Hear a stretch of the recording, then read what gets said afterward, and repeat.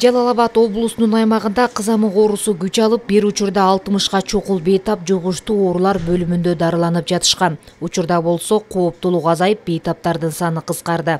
Бүгүнкү күндө азыр бизде бөлүмдө жаткан бейтаптардын жалпы саны жыйырма сегиз болду. Азыркыга абалдары беш бейтабыбыз бир аз оорураак кислород кышкылтек аппаратында алып жатат. Алар баардыгы ушул пневмония оорусу кабылдап алган да абал эми өтө курч эмес но курчуп жакшы болуп калды биркеле кызамык бул курч жугуштуу вирустук оору кызамык менен ооруган адамдан жугат балдар жана чоңдор дагы кызамыкка чалдыгышы мүмкүн. Аталган илдет менен оорубагандар жана ага каршы эмделбегендер бейтап менен байланышта болгондо жашына карабастан дээрлик жүз пайыз ооруну жуктуруп алышат. Андан сактануунун бир гана жолу эмдөөдөн өтүү эмдөөнү убагында алыш керек.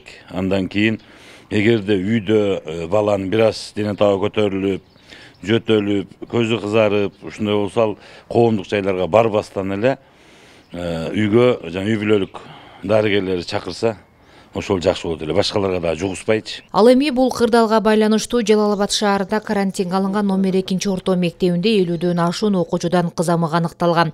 Номер жетинчи мектепте үч окуучудан кызамык табылган. Учурда болсо алардын баары жакшы болуп билим уялары кайрадан кадимкидей окуусун улантуунун алдында турушат.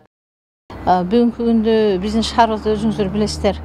Жалпы мектептерде балдар бакчаларында кызамык ооруларын алдын алуу боюнча ата энелерге түшүндүрүү иштерин жүргүздүк медайымдар менен медиктер менен биргеликте жана эмдөө иш аракеттери жүргүзүлдү жана алдын алуу иштери толук алып барылды мына ушулардын натыйжасында жана жалал абад шаардык райондук аралык оорулардын алдын алуу эпидемиологиялык борбордун катынын негизинде биздин шаарыбыздагы номер экинчи жана номер жетинчи орто мектептери он бешинчи ноябрдан баштап эртеңки күндөн баштап толук кадимки шартта оффлайн окууга өткөрүлөт. Кызамыктын өлкө аймагында күч алып кеткендигине байланыштуу чукул чаралар көрүлүп кыргызстанда кызамыктын алдын алуу үчүн эмдөө менен камтуу жетимиш жети пайызды түзгөнү кабарланууда.